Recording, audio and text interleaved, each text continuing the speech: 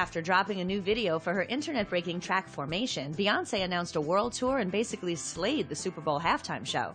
It's no wonder Beyonce craved a quiet moment with her family. Queen Bey uploaded a photo after the game of her standing in an empty Levi's Stadium with husband Jay Z and daughter Blue Ivy, soaking it all in. She killed a performance with the likes of Coldplay and Bruno Mars at Super Bowl 50. Take all the time you need, Bey. You've earned it.